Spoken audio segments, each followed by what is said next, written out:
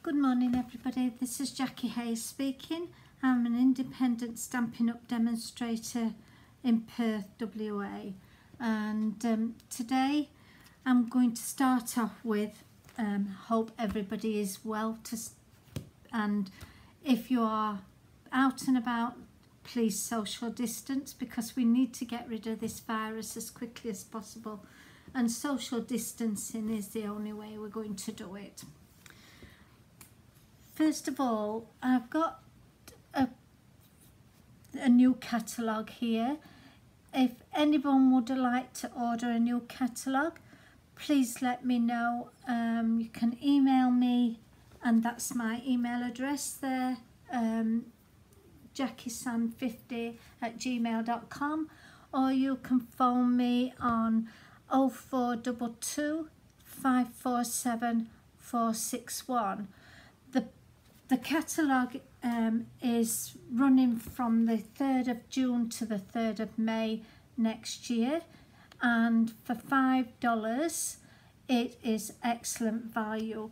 It's got not only products that you can buy but in it it's got photographs of um, cards that you can make with that one product. This one is uh, Timeless Tulips and it is in the old catalogue um, well the current catalogue this one's not coming yet.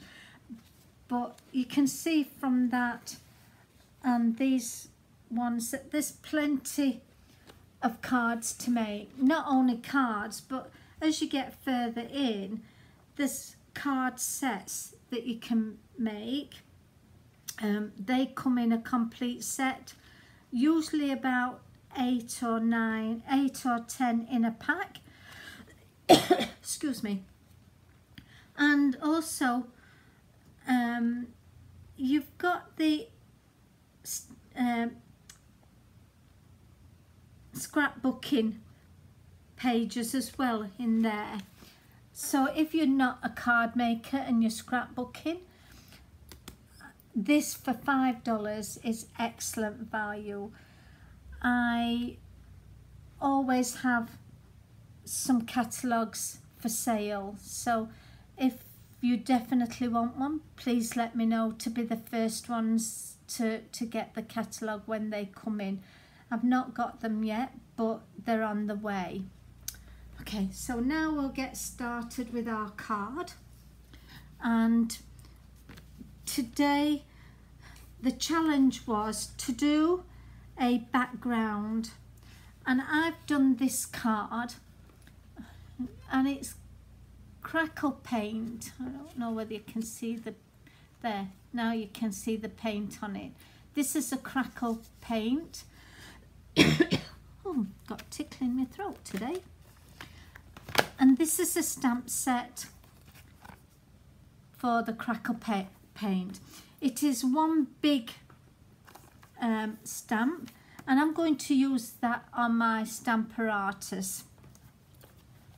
I've also done um, a label, label me bold and that's this piece here and it comes in quite a few sayings in that label me bold. I've for the inside piece as well. I've done the, a few flowers and I want I only wanted tiny ones. So I've used Path of Petals. I've not used this very much. It is one of those that I do like and I do like the saying um, from this one. And but I've not got the saying in that one for some reason. What did oh I liked the saying better for this one, so, so sentimental. And that's the, that's the inside bit of this so sentimental. And it's uh, wishing you much happiness today and always. They all come as um, either cling or um, photopolymer. And then last week I did a card with the tropical, uh, Timeless Tropical, and I'm I like if people buy um, buy a stamp set from me I like to show them that they can use it on more than one card. And this is the one that we did before. I'll just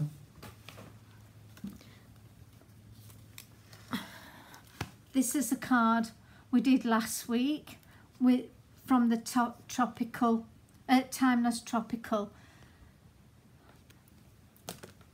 so this week then I'm going to use the big frangipani and also these leaves which I didn't use before because I used this and the palm trees on the, on the last week's one. Now we get start, we'll get started. I am using Rococo Rose and and I've cut it at 10 and a half and it that's a full sheet of um, Rococo Rose A4 and what I've done is cut it straight down the middle at 10 and a half. Um, I've got two pieces of Whisper White and they are the normal size that I normally cut 10 um, sorry 14 and a half by 10 got then um, shimmer shimmer card and this is nine and a half by 14 and the shimmer really does sparkle on this when you put this um, I don't know whether you can see the sparkle on that or not. It's not going to show up the light on it but it does sparkle both sides. It's not just one side of it. I've pre-cut this piece because the the, the label I'm using is Ornate Dies and have used oops can't get use that one for the outside which is that shape and for the inside on white which I haven't cut yet because I'm going to stamp that first and that's that that shape and it makes the fancy fancy um, die for, for standing up.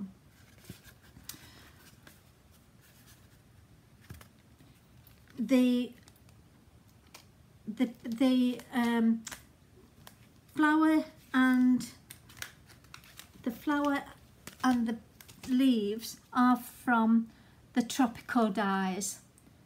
And we used this one last week for the pineapple and the pineapple um, top and also aloha.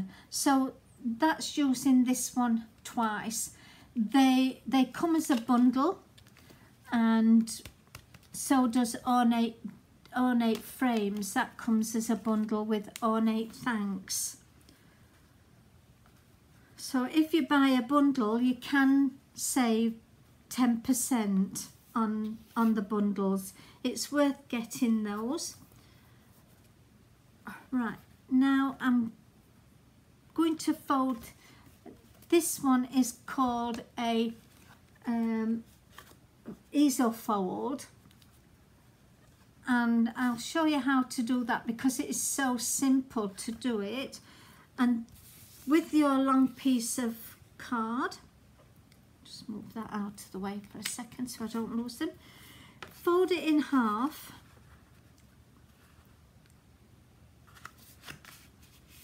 And use the bone folder to get a neat, neat edge.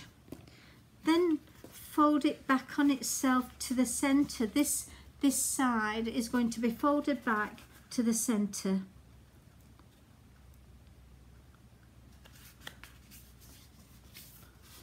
use the bone folder again. So there's your starter for your card. That's as simple as that. You don't really need to do anything else with that. We're going to concentrate on the, the other pieces of card now. And we're going to do the crackle. I'll just move that on one side. We're going to do the crackle paint first, the cracked paint first. and that is on the shimmer and I'm do doing it on my Stamparatus because if it doesn't come out quite as well as I want it to do I can restamp it I've got the um, silicone mat underneath because it needs to be really firm when you're stamping it. I won't put this right on the corner because I want it to do right on the the edges of this uh, move it down just a fraction and I can't because it's so big I can't put my magnet on it but I'm going to just powder marvellous never folds never shuts up when I want it to shut up and when I don't it does Right, dust it over. This is an embossing buddy and it just takes the static off the card. And Versamark is the ink that you're going to use. Always put something underneath your plate on your Stamparatus because you don't want the you don't want this piece bending back too far um, it will just break them off and then end up having to buy new plates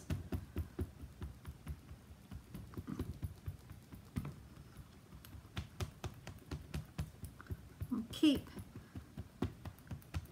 keep going until you think it's all covered. And I think that should be enough. Fetch that over. Just move my magnet out of the way a bit. And press down as hard as possible. And keep pressing until you think every bit of it is covered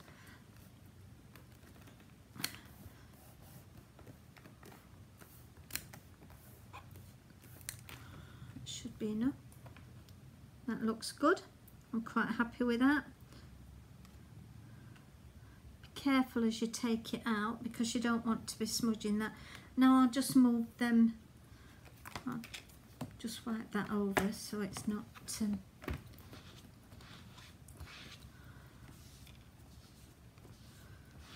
not sticky. Because Versamark is very sticky. And that's the chamois that I'm using. It's a disgrace, I know, but it's it's a worth buying that one. Finished with that one. So then I've got clear embossing powder. And always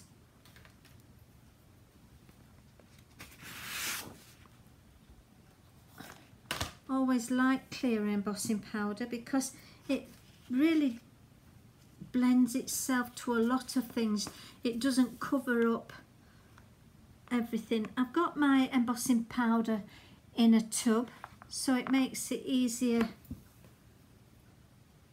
to, to actually cover your your card and just sprinkle that way then you haven't got to mess about with papers. I have put paper down because my paper underneath is a little bit on the large side for doing this but sometimes I don't need to extra card, extra paper.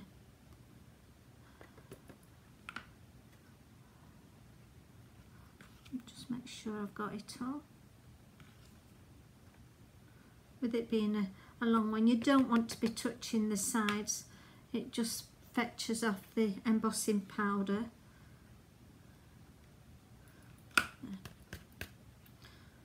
Think that's about it. Yep, fasten that up. And I'm going to fetch in my heat tool.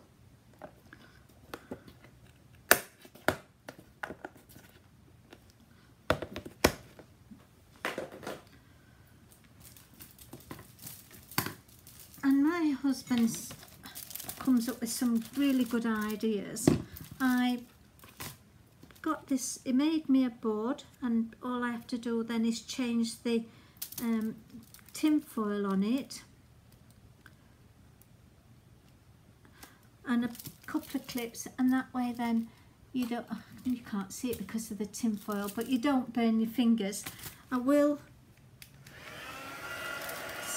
try and keep talking while I'm doing this. It should have heated my gun up first but as you're putting the heat on it you can see that the embossing powder is melting and it melts into the Versamark that gives you the the coverage that you want. Gives you the if you're doing a flower you can see the flower taking shape on your card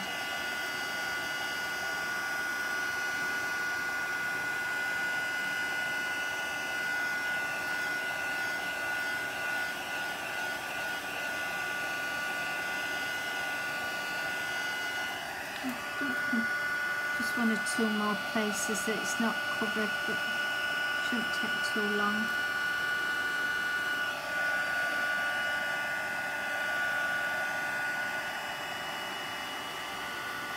Some demonstrators when they're demonstrating this turn their video off and restart it but I'm sorry but I just don't trust turning it off I probably will have to start all over again if I did that.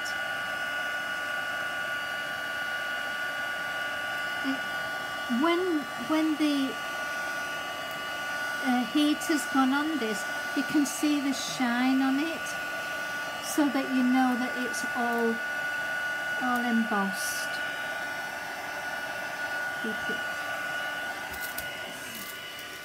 This heat tool's got two settings, a slow speed uh, and a fast speed. I've used it on a fast speed so it'll do it a lot better, a lot quicker. Uh, I can feel that there is no powder going to come off of that so I know it's all complete. Oops, I've lost my card. The next step is I I just want to, I'm going to take a water pen and the inks I'm using today is um, Old Olive, which is a really old one. I've had that one for years. And then Rococo Rose. If you squeeze this so that it's in the lid, it's not quite enough. They're not as easy as the old ones to, to squeeze, that's better. And I don't want the, the green on that, so right, going to just splash some water out of my water pen onto my card first.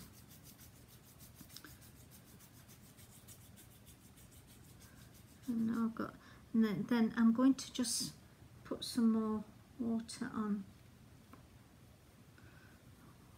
on this and spread. Then you'll be able to see that the colouring is actually fetching the pattern.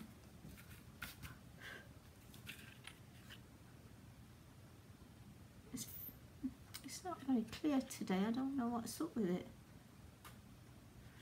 It's actually fetching the pattern oh there. Pattern out of it.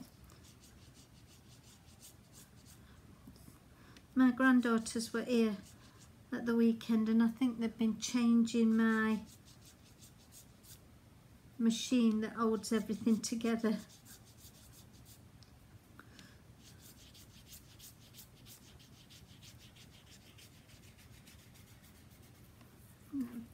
might just leave it at that. Just put a little bit more on the,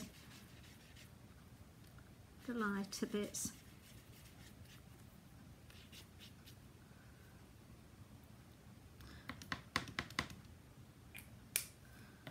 And fold that one up out of the way for the time being. So uh, you can just see the colouring and the crackle part of that. I should have a, oh it's fairly dry. I will just dry that again just to dry the, the water off. Turn it over so it's flattened. Now it's dry. And for the next bit then, we're going to have to do some um, stamping and cutting out, some cutting out, but I've got my big shot.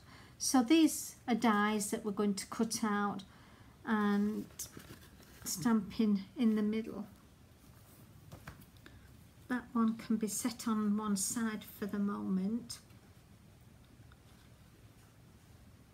Oh, maybe not. Maybe I'll just put this onto this card. I have raised this up, so I'm using dimensionals. Put that on first.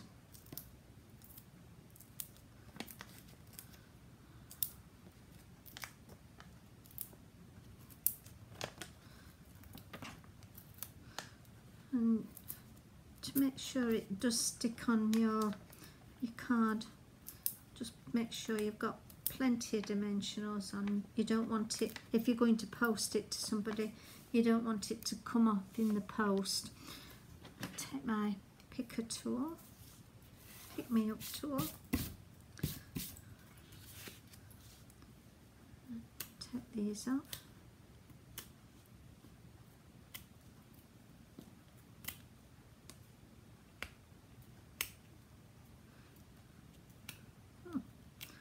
want to come off.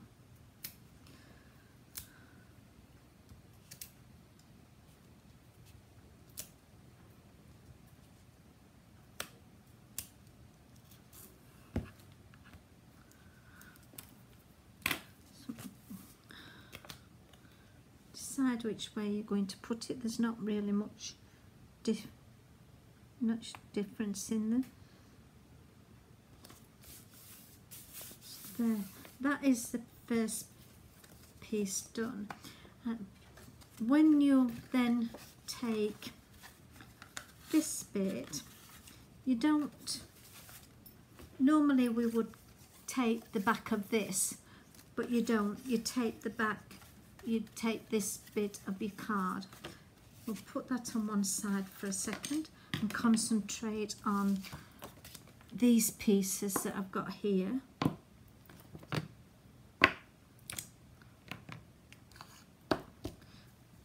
And this is the larger of the I think it's frangipani magnolia not sure which. I never know. I'm not I'm not into flowers really. And this is um, memento black that I'm using.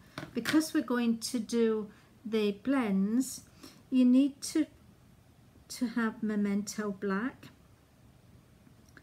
because that way then your colour your black on the outside will not bleed. And I'm going to just stamp two leaves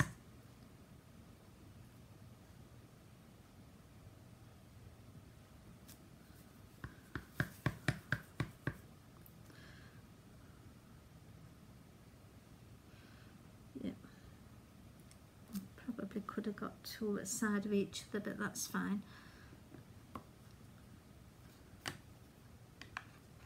Move that out of the way.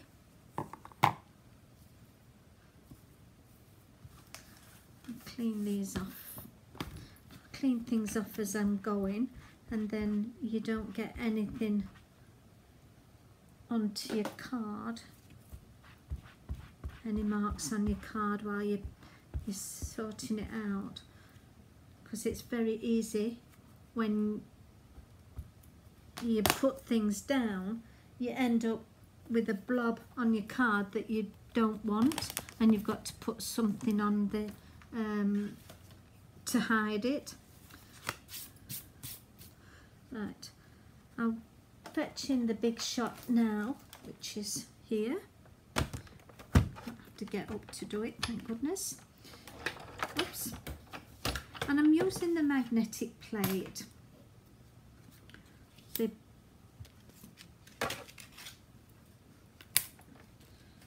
the um, the leaf and the big die are there.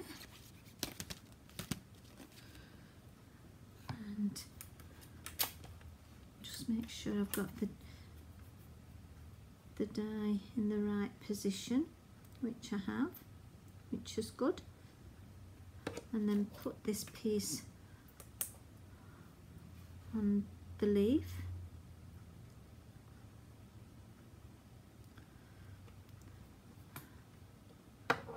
place the top plate on. I've got a, a, the magnetic sheet, a bottom plate and a top plate for this. I'm sorry if it moves the just pull my iPad back up because it's slipping down. Did say that my granddaughters had been into messing about. They always alter everything I have to see if I can secure it a little bit more.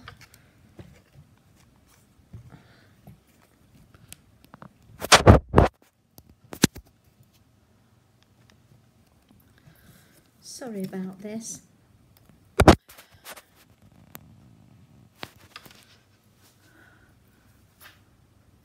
Right, now got um, that piece is already cut out. That's set that on one side. And I just need to do another leaf and that one's cut out. Ready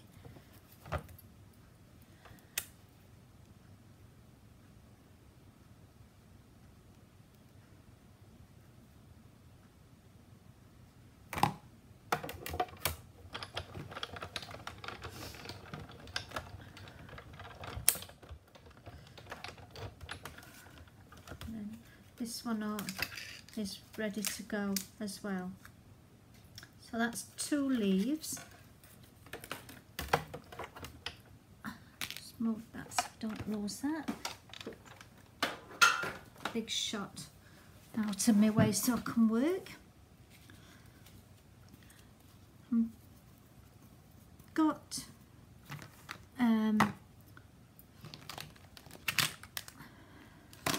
I've got Old Olive Blends, light and dark, and Rococo Rose, light and dark.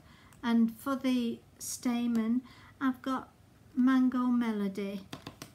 So I'll start off with the, the flower first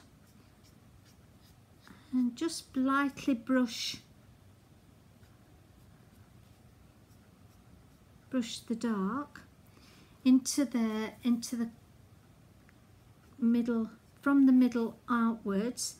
You don't have to press on with these blends because they are alcohol base and the brush is, is really flexible and fine.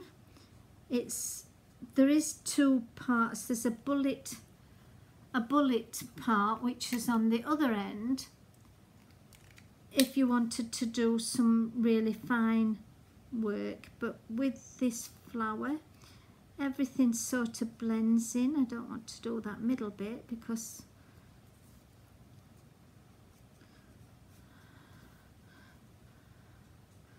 that is the stamen. Right, I've got the darker one now. I'm going to take the lighter blend and with when you're doing the blending in use circles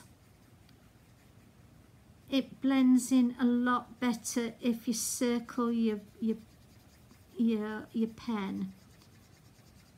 And then you can see from that that it is blending in quite nicely and you've got the dark and the light. Now I'll just hold that up and there you can see this is the dark that I put on but there is no line visible for it it's just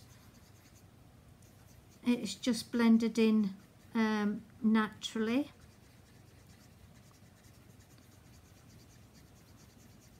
Keep going and keep going.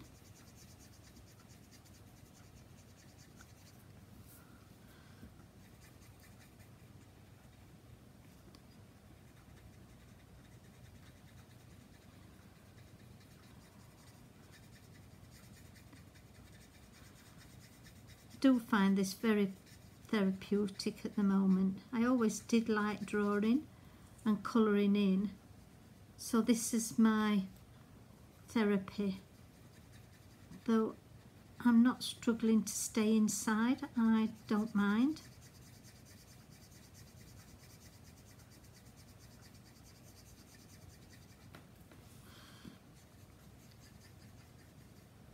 I know a lot of you ladies out there are really struggling and don't like to be in the, the confines of your house all the time. Excuse me. So I think that one is okay. If you find you've not done enough, you can always go over it a little bit once it's, because it's nearly drying. In fact, it is dry now. Oh dear. Drink.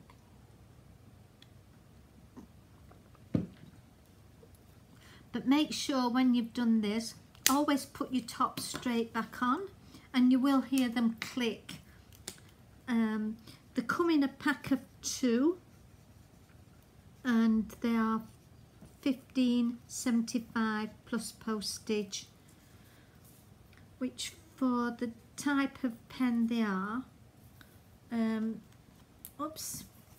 It, it's not too bad. That that's the flower finished apart from putting Wink of Stella on which I will do um, in a moment. Going to use the bullet end of this to do the the leaf because I don't want it really thick on the leaf markings.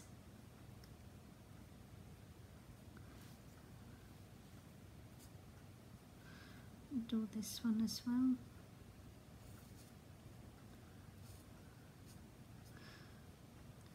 And you'll find that once you've done this darker bit, the, the veins on the leaf will then stand out without being overpowering. I've then taken the, the brush end of the lighter blend and keep going round in a circle and that way then you can see that it is all blending in together.